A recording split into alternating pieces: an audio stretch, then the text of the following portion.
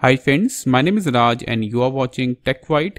If your pre-installed apps or your Microsoft Store apps are not opening on your Windows 10, in this video I will show you some troubleshooting steps to fix this issue.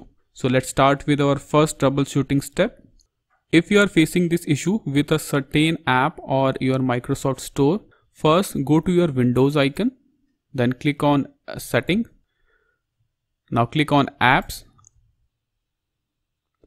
now look for the problematic app which is not opening. For example, this is the app which is not opening.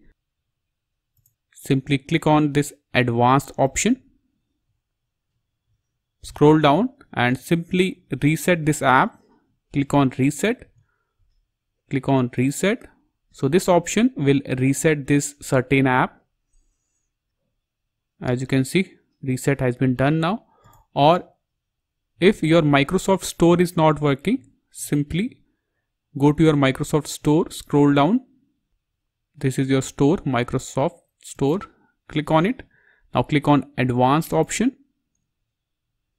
Now scroll down and simply reset this app. Click on reset. So this option will reset your Microsoft Store if it's not working. As you can see, it's done. Now simply restart your system and check.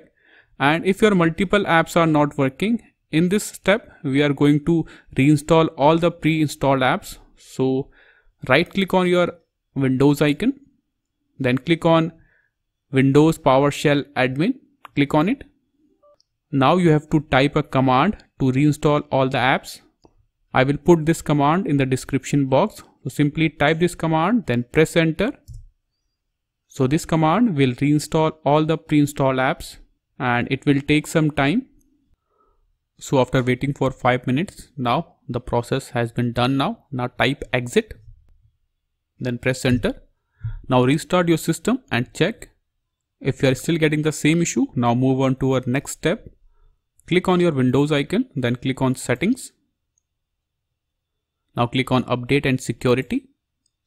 On the left side, click on troubleshoot now click on additional troubleshooters. Scroll down and you will get this option Windows Store Apps. Click on it. Now click on run the troubleshooter.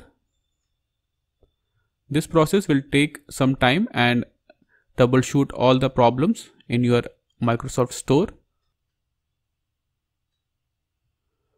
So as you can see the result, the issue has been fixed. So most of the time this troubleshooter is able to fix your issue if it's not, now move on to our next step. Go to your search icon and type CMD. Now right click on command prompt, then click on run as administrator. Now you have to type few commands. So let's start with our first command. Type this command, then press enter. So this command will check your system health. Successfully completed. Now type the next command. Type this command carefully this command will scan your system health. Type this command, then press enter. And one more important thing, make sure your internet is working. And I will put all the commands in the description box. The operation completed successfully. Now type the next command. So this command will restore your system health. Type this command, then press enter. So the process has been completed. Now type the final command sfc space slash scan now. So this command will repair all the corrupted files. Type this command then press enter. So the verification process has been completed. Now type exit. Now restart your system and check your pre-installed apps. If you are still getting the same issue, the final step you can do is go to your Windows icon, then click on settings. Now click on update and security. Now simply check for updates. Update your windows operating system. Click on check for updates.